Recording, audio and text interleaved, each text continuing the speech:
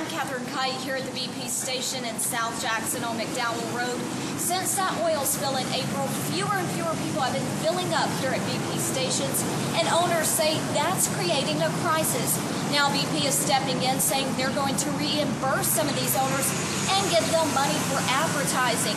At the same time, some of these owners are asking government regulators to allow them to charge less for gas to attract more customers. We're going to have much more on this story on WAPT.com. 16 WAPT News tonight.